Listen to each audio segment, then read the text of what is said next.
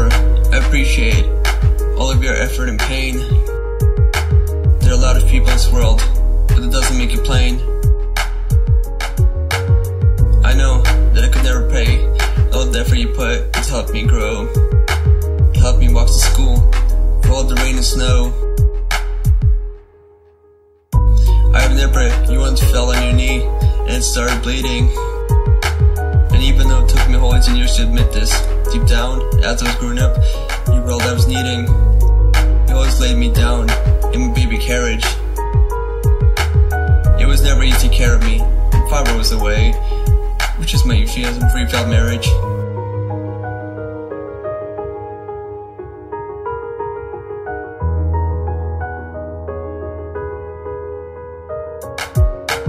I know I should have done more as a child, but I was way too busy being much too wild.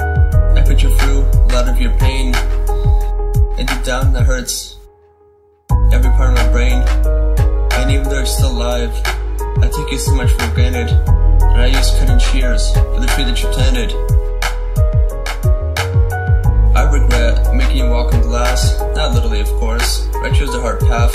I could have just gone on the grass.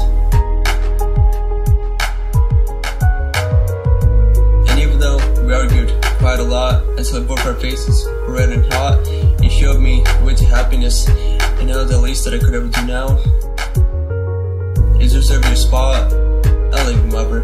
Please forgive me, because I forgave you all the way. And I know now that when we both die, we'll both be together a brighter day.